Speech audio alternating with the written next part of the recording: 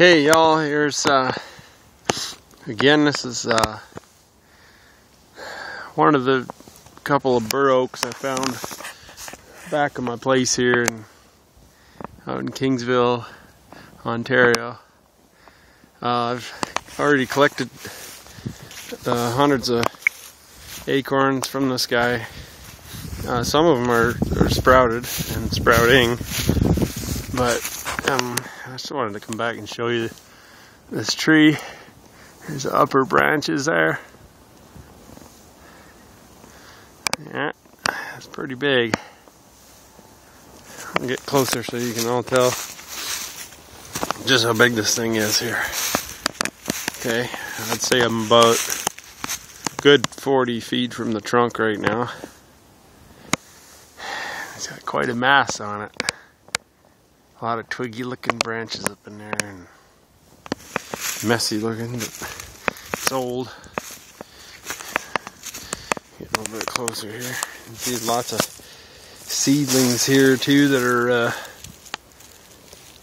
all over the under canopy here. You can just see them all sticking up everywhere. But uh, have a look there. That's a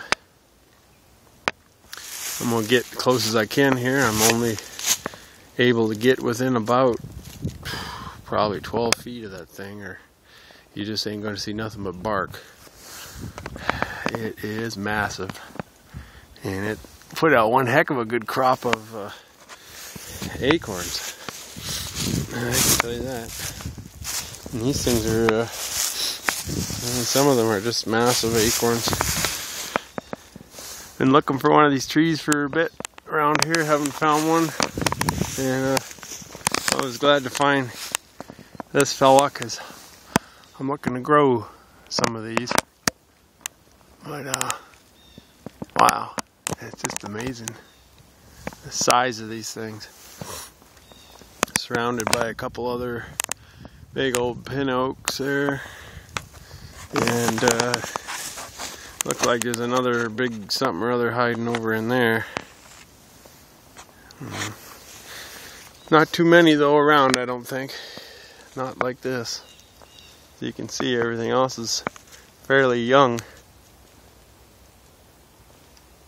No, no deer lurking today either.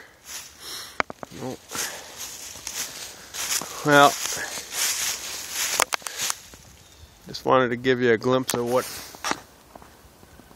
I thought was pretty amazing. That's a bur oak located in uh, Kingsville, Ontario. It's a pretty big tree. Don't know how old that thing would be, but a couple hundred maybe. It's possible. Got another one down the way there. I'll show you down the laneway.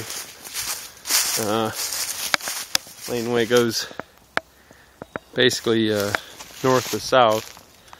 Now we're looking north. And that's that's the other one over there. You can just see the top of it. The, it's not quite as big, but uh, it's pretty darn old nonetheless. So there you have it. That's that is the bur oak, which I've been harvesting acorns from for about oh, three weeks now. Nice looking tree. Hope she sticks around.